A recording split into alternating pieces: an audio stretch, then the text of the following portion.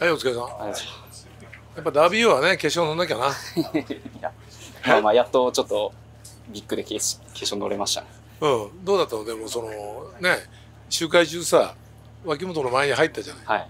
あれはあそこへ行ったら入れてもらえると思って入ったの？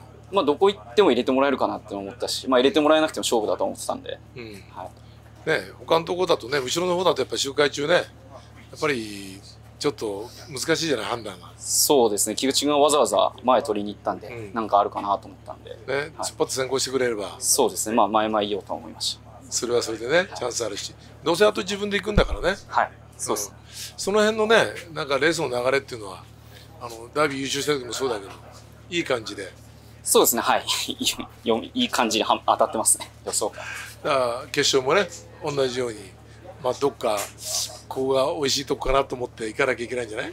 そうですね。あのビビらずにしっかり仕掛けられるところからいければと思います。ね、まあ、最後の脇本のスピードはどういうふうに感じたの、いやもうすぐ2着争いに切り替えました。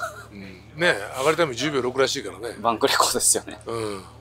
まあでもスピードには自信あるだろまあすんなりだったらうん。って感じですけど、まあそんなレースはそういうふうにいかないんで、はい、うまあだからねこれからあちこちでバンクレコードも作んなきゃいけないだろうし。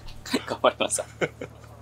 ね、うん、まああの明日はね、えー期待して見てるから、はい。い、いレースを、はい。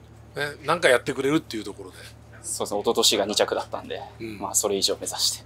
どっかでね、はい。うん。まあダービーと同じような形になれば一番いいけど、頑張ります、はい、では本並さん一言えー明日も遅い時間になりますけどぜひ応援していただけたら嬉しいです。また明日も応援お願いします。はい夜は強いんだ？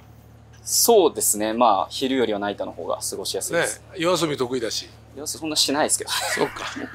失礼しました。はい